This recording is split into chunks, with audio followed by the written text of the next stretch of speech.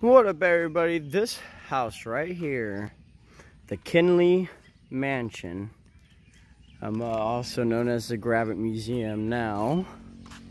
This house was built in the 1870s. It was one of the first settlements of Gravette in general.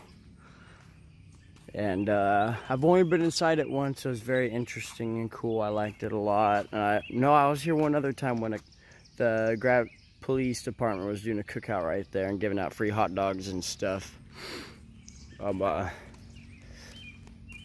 I'll try to get a close up for y'all.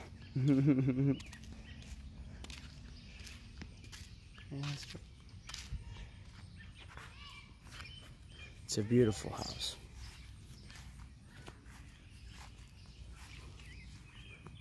But I want to show you guys this quick history right here for the people who appreciate this kind of stuff. And it's a beautiful house. It's like 140 years old, 130 years old.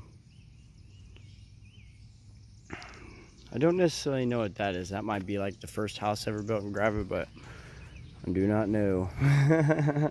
but thank you guys for watching, and you guys have a good day.